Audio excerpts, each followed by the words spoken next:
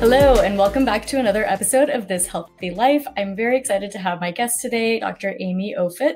And Amy, Dr. Amy Offutt is the president of iLads, and she's also the medical director and co-founder of Integrative and Yoga in Marble Falls, Texas. She transitioned from rural family medicine to treating chronic inflammatory diseases with integrative medicine. She co founded Heart and Soul with her husband, Brad, in 2007. And I'm so excited for her to be here today to share so much wisdom of what she highlights, so much work that's going to be around helping people get proper treatment for Lyme disease, learn about your practice as well. So, Dr. Offutt, thank you so much for joining and welcome.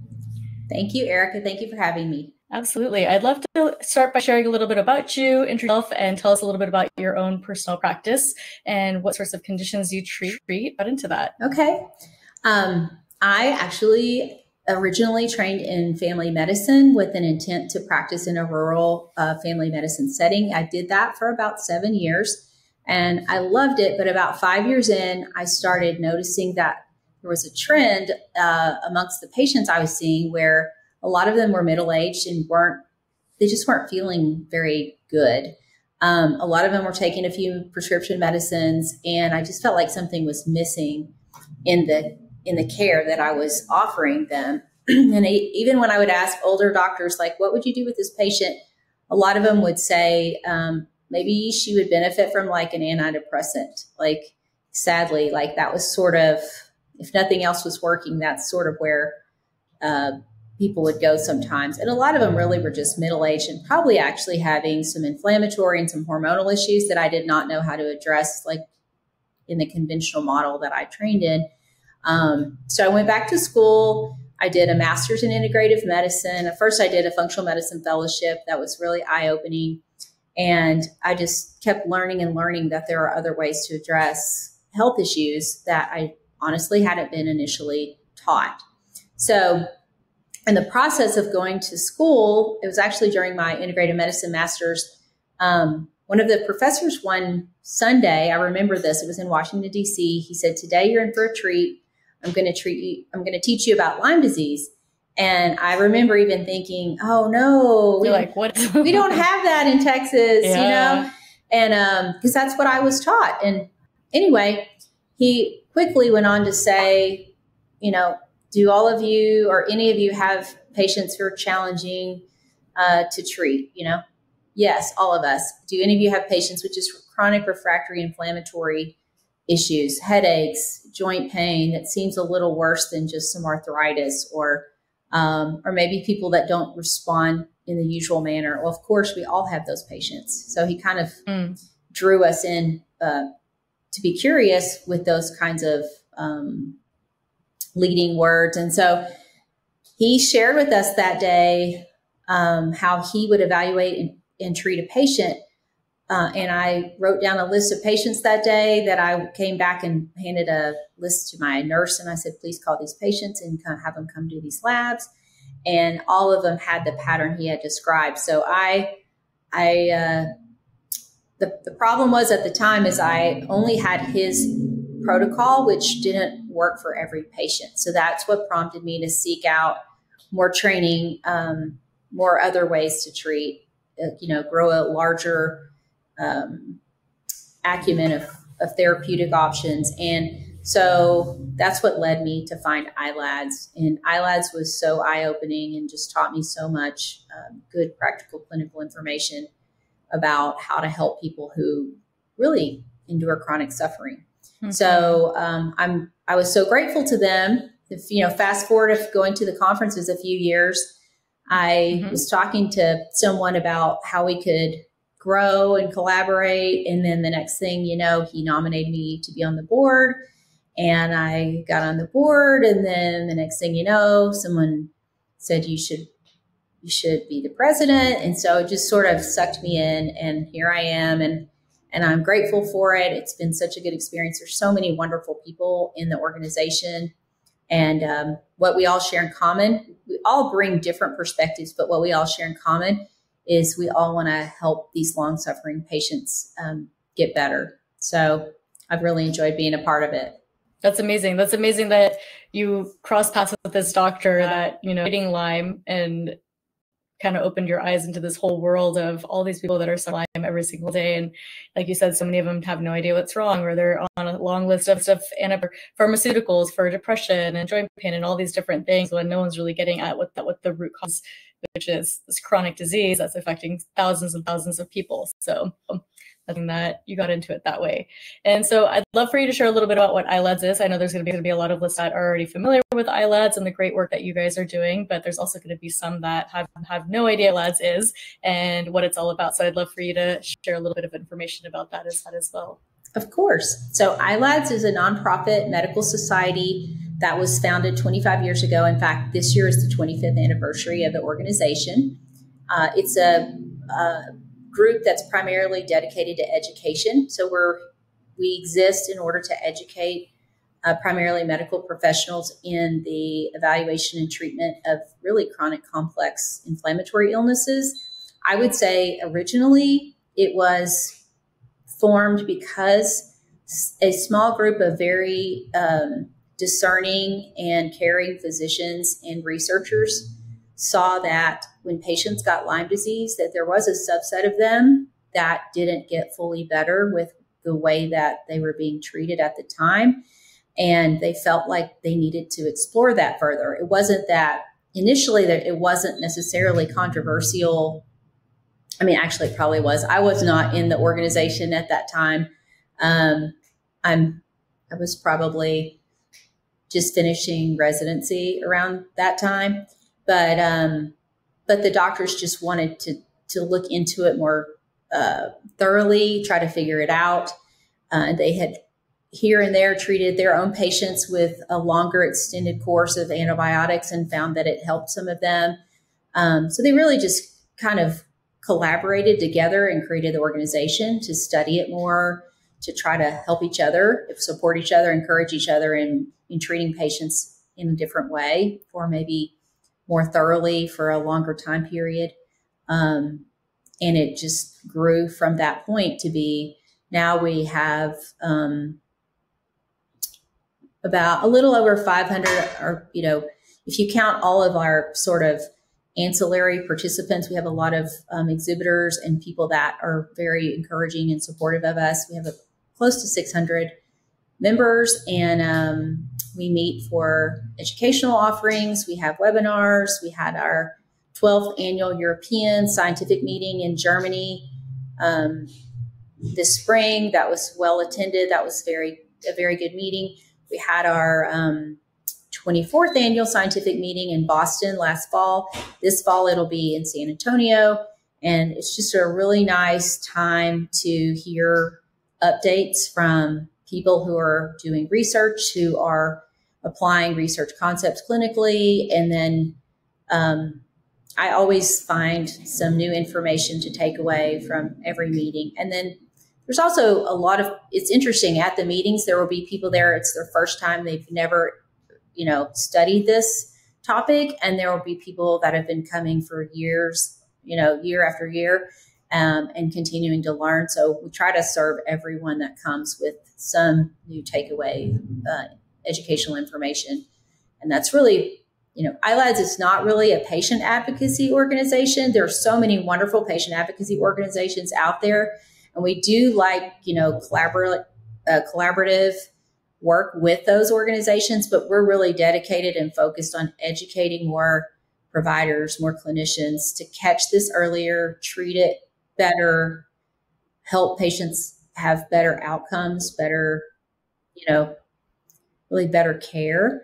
Um, and I'm not I'm not saying that the other way that patients are getting cared for is necessarily intentionally inadequate, but so many patients have gone to so many different places, different doctors, different specialists, and they get a lot of prescribing done. That's like you mentioned earlier. It's more like, what symptom do you have?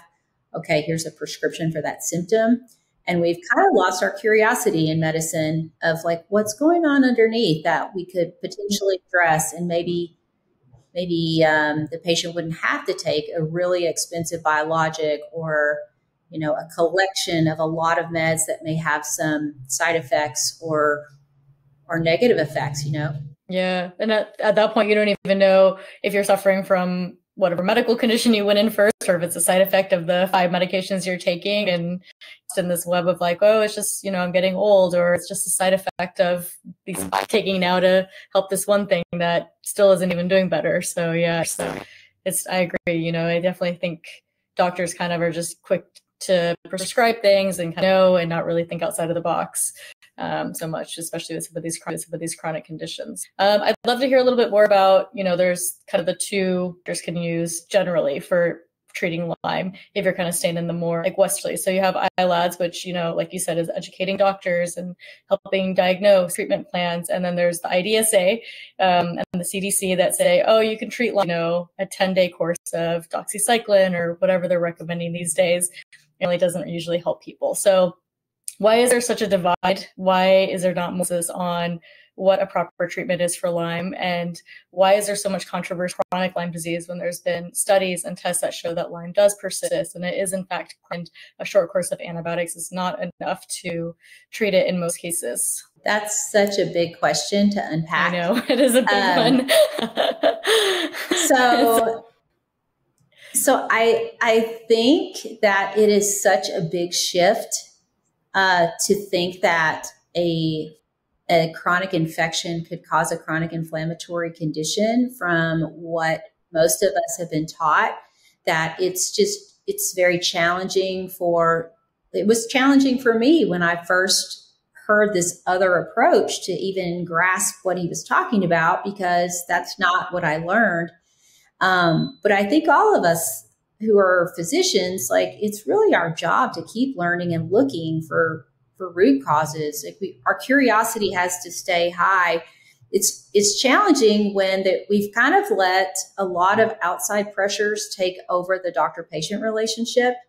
We have, I mean, that's why I work for myself. I used to work in a corporate medical environment, and I, for the first five years, I felt okay with it, and then it started. Some new administration came in, and it was I couldn't see enough patients to, you know, satisfy their their expectations. And i just i felt like i was working so hard and um, and just never could quite meet their what they were looking for with regard to my numbers. Um, i was averaging around 25 patients a day and was exhausted and they wanted me to see more patients. And i was just like how do you do that?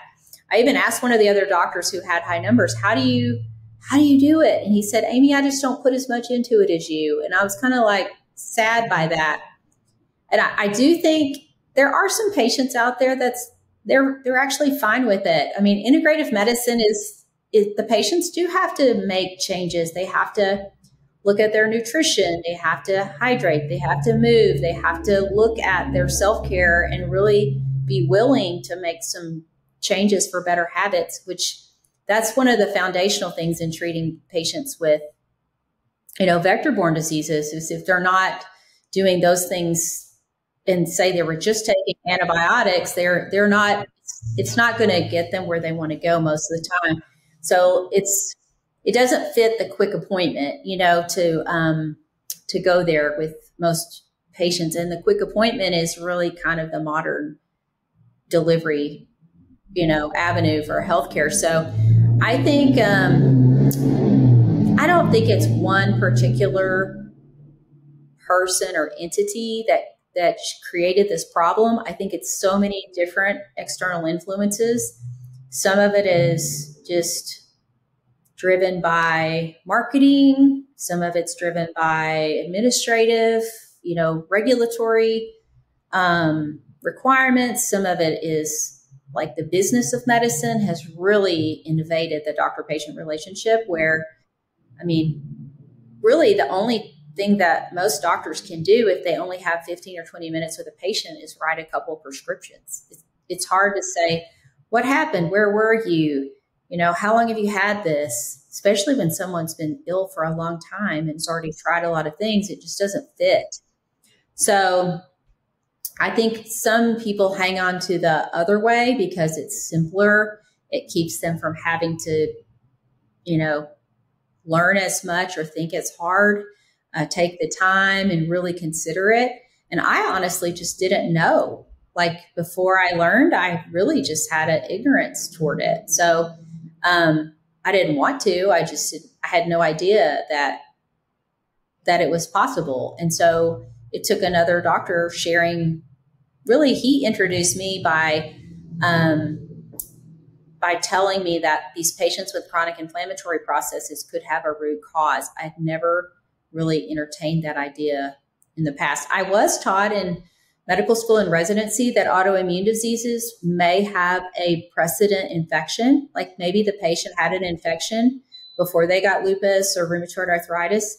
But no one ever said, what if that pathogen hangs around and it's still there? And um, and that was controversial for a long time. It, it, it wasn't necessarily easy easy to prove, um, but I think enough uh, information has been published now that it it does uh, persist. It is a persistent infection in so many patients, um, and a lot of them don't even know they were ever tick bitten or flea bitten or that a cat scratch gave them an introductory dose of a pathogen, you know, not Lyme, but, you know, a lot of, yeah, like there's a lot of other things going on. And if we really took a hard look at all of the numbers, the rise in autoimmunity and the rise in just chronic inflammatory symptoms, we should be really looking for root causes right now.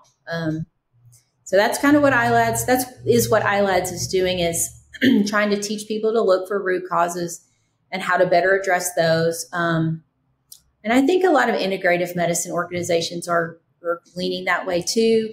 Um, it's just a lot to, it's a really a lot to learn. I think that's part of the barrier. It's like, you can't just go to one conference and then go back to your office. And like I tried to do that and it didn't work. You know, actually it was one of many conferences and I still felt like I didn't have all the tools and all the knowledge to be able to apply it. So it's a process. And um, so, like in ILADS, we have a physician training program where we have someone spend time with us. Um, some of the people that have done it with me have spent a week with me in the office, shadowing me with patients. And then afterwards, I stay available to them for questions or you know do we do follow-up cases. We try to um, really support people who want to figure this out to learn more. I mean that's the only way we're going to provide more care for more people is mm-hmm. to grow our network. Absolutely. And educate doctors that are going to be there in the field with their patients and being able to be more hands-on today with the people that they need to help. So yeah, I agree. I think that's a great step. So let's talk a little bit about testing, which is also a very controversial subject with Lyme. You know, most people, if they go to the regular doctor and they're lucky to get a Lyme test, they really only get LabCorp or Quest, the ELISA test, which is typically going to miss about 50% of cases. What sort of testing does ILADS recommend or train your doctors to use? And which ones are you finding to be the more reliable ones until we have a truly reliable test? it's a good question. Um, so ILADS tries to teach a lot on testing because really immunology is a uh, needs to be understood fairly well to understand what kinds of tests are out there. I will just say that every single kind of currently existing text, uh, testing has pros and cons. Um, so there there is available now um, direct testing through a research lab that's looking for the pathogen itself. And I like that testing. It's just they're only able to test for a few organisms. Um, they're kind of expanding that, um, and it's expensive. So it's hard for patients who, you know, especially if they're really ill and they're not able to work or they don't have, you know, a lot of support it's hard for them to afford some of the testing. Um, you know, IGeneX has been around forever. They're a great company. They have great tests. Um, and it, it is controversial even amongst ILADS members. Like there are some test um, panels that aren't as expensive that, you know, there are internal arguments of like, are these tests valid or invalid? Um, to me, the missing piece of all of it is that it's really a clinical diagnosis. Like we have to have a very high clinical suspicion. And then the lab testing is there to kind of back us up or target in a little bit better on what the patient was exposed to. But we know that these chronic infections, they evade immune responses. So if someone's really, really ill, they may not have an- antibodies showing up on IGeneX or if you do Vibrant or if you do, you know, any of the other uh, smaller specialty labs out there, they're certainly probably not going to have it on a regular Quest or um, CPL or LabCorp type um, Western blot or ELISA test. So when patients come and they have those tests positive, like I really believe them.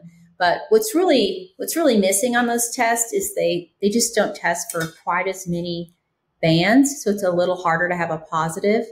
And I think those tests, you know, they're just they're just not as helpful. And I unfortunately see this happen a lot where a patient may even see their primary maybe they have a really good story for having been exposed to one of these diseases. Maybe they even get referred to an infectious disease and the test is done and they get told, you're fine, your test is negative.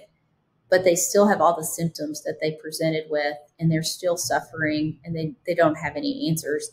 And so to me, that's why, back to your earlier question, if I was going to choose like where to go and learn, what I want to learn like one of the, the things ILADS teaches is to, to treat patients and follow them closely, watching for improvement with consideration of extending the treatment if the patient is still not fully recovered. You know, if they're if a patient is getting better and better, um, I keep going. You know, I don't stop it just because it's an arbitrary amount of time that they've been treated. And I'm following them. I'm checking their labs. I'm checking in with them I give them precautions and tell them to reach out to us if if they start having any, you know, warning symptoms that maybe we need to change the therapy. Um, and I feel like that's good medicine. Yeah, absolutely.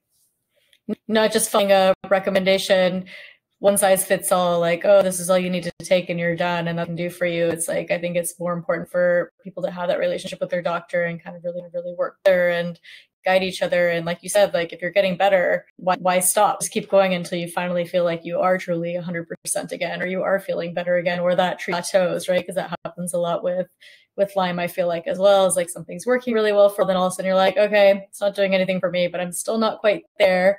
So then you always always have to be kind of shifting and trying new things and it's like a Rubik's cube with Lyme, right? You fix fix one thing, yeah. then you got to fix another and try to figure out how to get it all solved.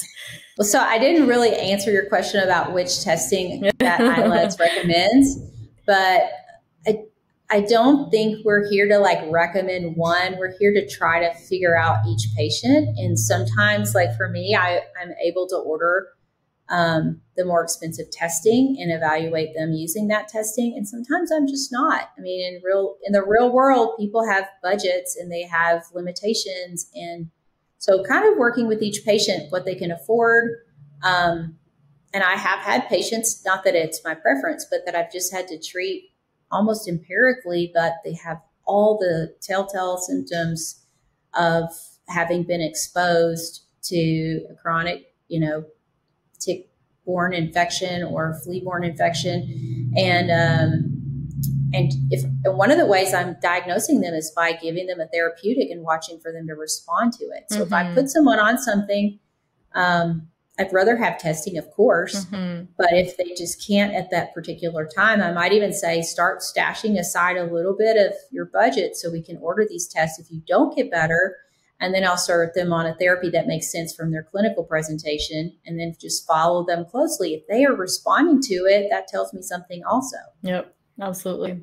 And then, so if someone is lucky enough to actually see the tick that bit them or notice a rash uh, versus some of these other patients that never saw the bite, never saw the tick, and, you know, go for years having all sorts of strange symptoms and then all of a sudden find out it was Lyme. What does ILADS recommend if, if you are one of the lucky ones, not lucky that you got bit, but lucky that you saw it? what do you recommend? You know, a lot of times people recommend saving the tick, sending it in for testing, um, starting a treatment protocol right away. What is the ILADS recommendation for test uh, tick testing and, and then also uh, acute treatment?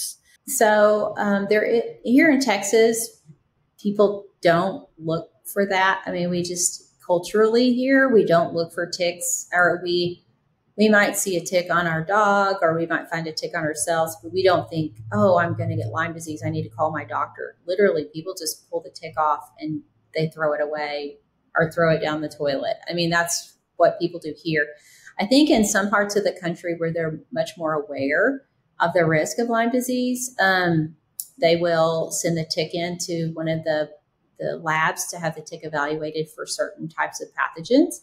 Um, I think that varies from lab to lab, whether that's a really good test or not. And I wouldn't personally want to wait until I got that information back to start treating if the tick is if, if the tick can be identified which now there are um, even free websites where if you send a picture of a tick um, it can be quickly identified if it's if it's an ixodes tick i would put the patient on at least 21 days of doxycycline and um, if if they don't have an allergy or contraindication to taking it, um, and then monitor them for symptoms. Um, if in 21 days they have zero symptoms, I would finish. That would be it. I would be done with the treatment.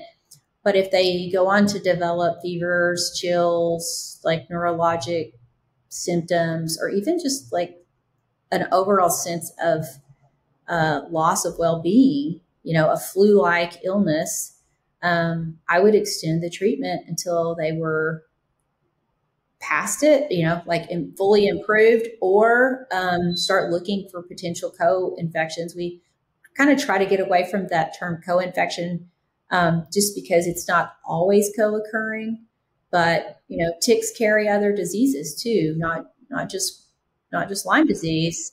So having you know checking for tick-borne relapsing fever, or checking for um, the Babesia, um, checking people for Bartonella, you know, trying to like think it through and really ask them a detailed history and doing a detailed physical exam to try to sort out what what's most likely is is really important. And honestly, like I didn't have that skill set before I started going to ILADS meetings to even be able to think that way.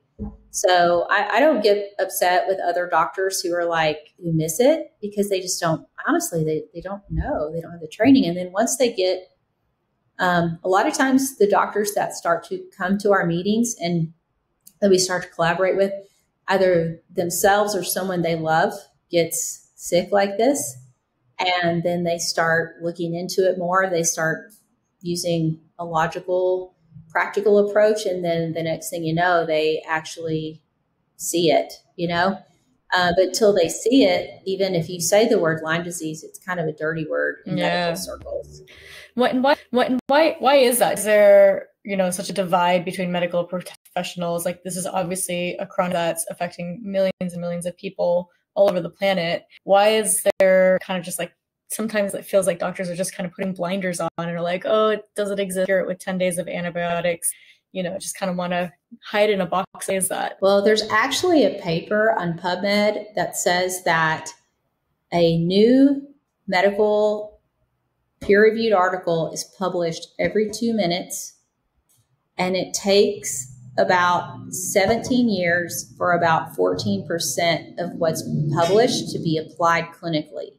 So just think about that for a minute. like how First of all, none of, us, none of us can read it all, right? And so we read what we read, we learn what we learn, and then we have an overwhelming number of patients. We're, we don't have time to go really deeply explore these new concepts. And so, unless you're seeking it, you're just not going to learn it.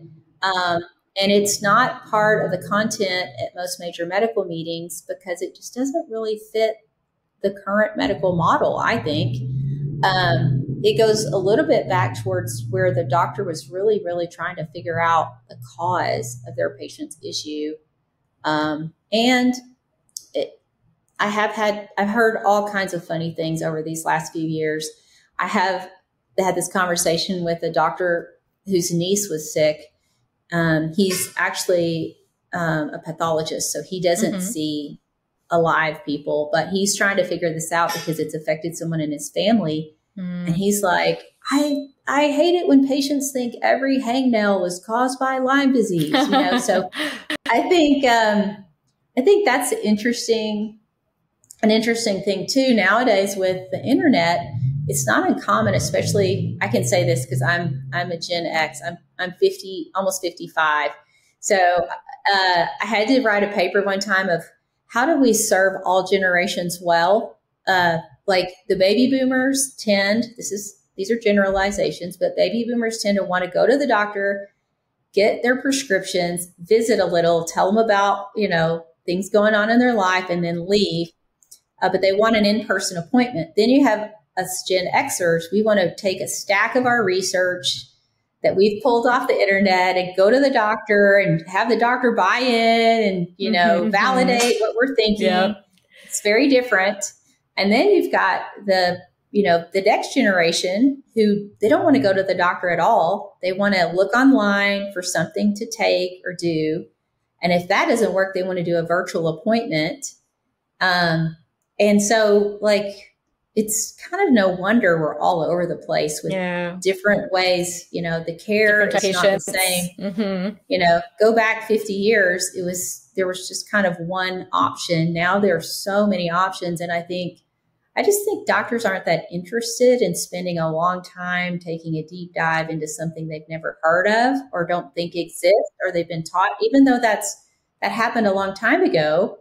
Um, I mean, for me, I finished medical school in 1997, I hope that I have updated and updated and updated to learn new things, not just new medicines, but actually new conditions. Um, I find a lot of symptom labeling going on too. Like we've let we've let ourselves slide into a place where the diagnosis codes are for symptoms, like chronic fatigue syndrome. Like what causes it? Or fibromyalgia, what causes that particular type of presentation. We actually have FDA approved drugs for fibromyalgia, but we don't, we even say we don't know the cause, but we don't look for it. I mean, we do, but not as a, not on a large scale. Um, and to me, that's really a big part of what's missing. It's like looking deeper and it doesn't fit with the quick visits, but um, I think it's necessary for us to preserve our profession because a lot of patients are just done with the prescription, the robotic prescribing, you know, or the older ones actually in my practice, some of them are like, aren't you going to give me um, a new prescription? And I don't always prescribe something every visit. They're kind of surprised by that, but, and sometimes I give them three. So, but I'm hoping, I'm always looking, what can we stop? What do we need to discontinue? What are we done with? Um, and I'm not, I also always, when I have the chance to share, I think we do the patients a huge disservice when we say that all conventional care is bad from kind of like an alternative medicine side. And then the alternative practitioners or integrative or functional medicine or whatever you want to say, when they say that all conventional care is bad, I think both sides are, are wrong and both sides are being you know, polarizing. And really, if we just all looked at our patients and asked, what can I do to help this patient? We could kind of find more common ground and pull from both sides of, of what's out there to help people. And, and some doctors do. I mean, I remember 20 years ago, no one ever checked vitamin D in conventional practice. Now I think a lot of more conventional physicians check people's vitamin D and will treat it, but it's just such a small piece of the pie. You know, the puzzle's so much. So many, than- so many other things to test, right? To get a full picture on someone's actual health instead of just a, a few simple labs that miss so much. Yeah. And then, so you mentioned, you know, co-infections or additional infections that you can get from the tick. So I this where you're at. Uh, a common one is the alpha-gal allergy that comes from the Lone Star tick. How prevalent is that? And you know, that's such a different one from Lyme disease because it makes you allergic to basically all red meat. I think if you really have it bad, it can be even like if you're meat or around the smell of meat, you can go into an anaphylactic reaction. Kind of findings and thoughts on that? And do you see patients that struggle with that and have they been able to overcome it? I definitely see a few patients with it. Um, I don't, I wouldn't say it's really prominent, but if, if you're the patient that has it, it, it it's everything because it, it's so limiting. So, um, I, uh, I definitely tech, check patients for it. And once in a while, I will have a positive lab test. Um, it, it's just very interesting. Here in Texas, a lot of people eat red meat. Like it's it's a thing. Um, And so even some of them are like, they, they just don't even want to believe that disease exists as a patient. Um, so that's another thing that for which people have to be educated. I mean, I don't think a lot of doctors know about that particular condition either. Um, and the Lone Star tick is really called the Lone Star tick because it looks like it has a single star on it. It's all over the southeastern U.S. Um, and you know, I've actually had some interesting patients um, find those ticks and even bring them. I mean, I've had someone bring one in in a baggie, um, and it's interesting that particular patient went on to develop the early stage symptoms of type 1 diabetes, um, which is a completely different condition, obviously. And um, we basically treated her uh, as if she had Borrelia, even though like her testing wasn't positive. Um, and those early changes, you know, the early, um, a little uh, spilling of urine, of sugar in the urine, and um, some of the markers for type 1 diabetes, like all of that stopped and reversed. We also changed her diet. We, she was really stressed. We helped her kind of manage her stress. And um, she just graduated from high school recently and she's not a type 1 diabetic. And she had been, I mean, I think we just have to look. We have to be mm-hmm. looking, mm-hmm. you know? I so, feel like at a certain point, almost anyone that's with, you know, an inflammatory condition or autoimmune disease should be tested for Lyme. And even if it's negative, like you said, not just fully relying on the test, working someone that's Lyme with you, do a clinical diagnosis and workup and kind of really dive in to see really going on and why your body just automatically triggered on an autoimmune disease out of nowhere. You know, I know in my own Lyme journey, you know, I had Lyme first, took two years to get diagnosed. By then, already triggered on three autoimmune diseases. And I'm like, what's going on? Why is my, why is my body haywire?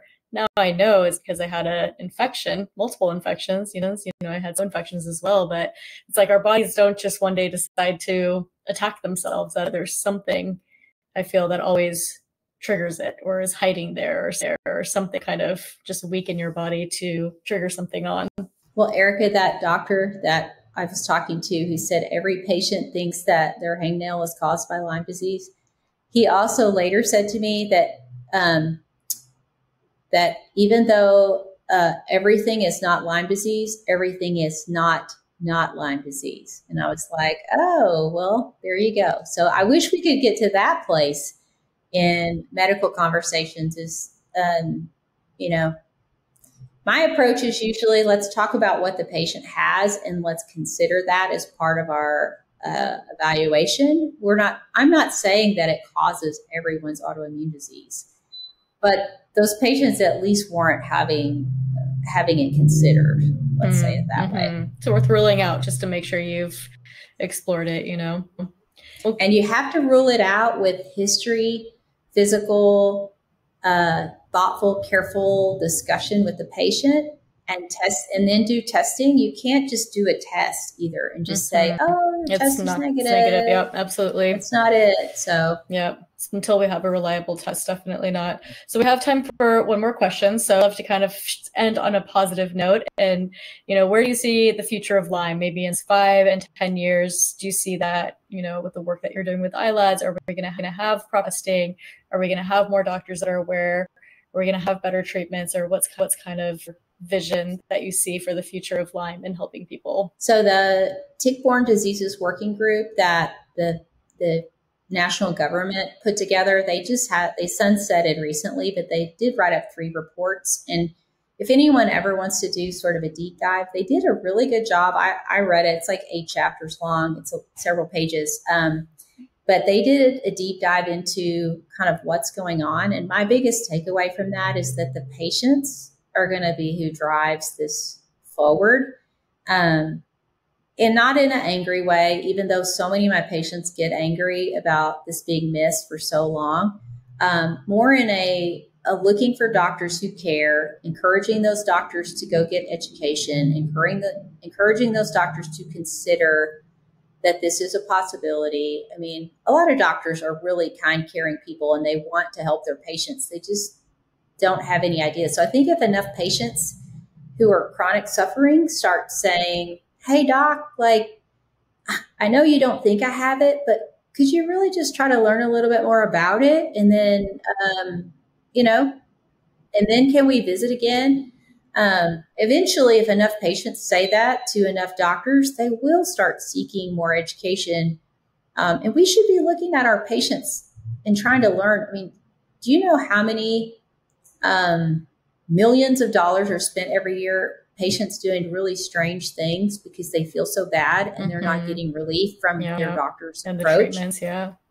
So I, I mean, I want to pat pay all the patients on the shoulder for trying. Um, I know it's funny. I tell my staff um, sometimes the patients come across as like psychologically off, uh, but it's because they're frustrated. They don't feel well. They're desperate. It seems like nobody's listening. Yep. It seems like no one cares. So I always am like, don't take it personally. Give them some space and room. And then if we can get them better, like they will go tell five other people and they will help five other people. And um, and it is a long hand holding process. I mean, I probably see like five to seven patients a day just because it's it takes a lot of time with each one. But I love my job. I love my job. I love um, getting to care for the people that I get to care for. And I think that um, doctors who get to do that would really find a lot of job satisfaction and just personal satisfaction in in getting to do that. So I would encourage if any doctors are listening to this, I feel like more patients are are going to tune in because they're interested. But if any doctors are listening, um, I would just say we can take our profession back. We can get back to the physician patient relationship. Um, it's totally possible if you just have to, you know, come to one of our meetings, learn from some of the rest of us who had to also learn it from someone else. Um, and little by little, I mean, it's just one one clinician at a time that we help this um, this change in this change happen in healthcare. But I really feel like a lot of it is patient driven. Mm-hmm. I agree. Awesome. Well, thank you so much for joining us today and sharing all this amazing information. If people want to find about your practice and find more out about ILADS, how's, what's the best way to find you online and social media? The things I do and say are not always necessarily representative of ILADS, yeah. but ILADS has a pretty a pretty robust website. Um, just type in ILADS on your uh, on your search engine, and it should pop up. And um, we do have some educational materials there. We're kind of working on even doing some more updating of that. There's always new things um, coming, you know. And then for myself personally, I'm in Central Texas. I'm about an hour west of Austin. Um, you could just type in my name, Amy Offutt, and um, and find me. And I really like. I don't need more patients. I have plenty of patients, um, but I love connecting with other clinicians who want to learn more and, you know, grow their knowledge base. And I mean, I'm always learning as well. I love getting to collaborate with with other doctors and nurse practitioners and PAs and um, you know anyone that's in a clinical setting that wants to help people. Um, like that's really what I enjoy um, about getting to be a part of ILADS is all that collaborative work and um, collegial work, and then the learning experience that we get to have together. So we uh, are meeting this. Our next big meeting is in San Antonio in November, November seventh through 10th mm-hmm. It's going to be great, and um, I I hope we have a good turnout yeah. and get to have some more people join us. Awesome. We're learning for sure. That's amazing. So we'll link to everything in the show notes as well. So thank you so, so much for joining today and looking forward to following along and see what developments there are in the ILADS space as well. Thank you, Erika. Have a great weekend. Thank you. Bye. Bye.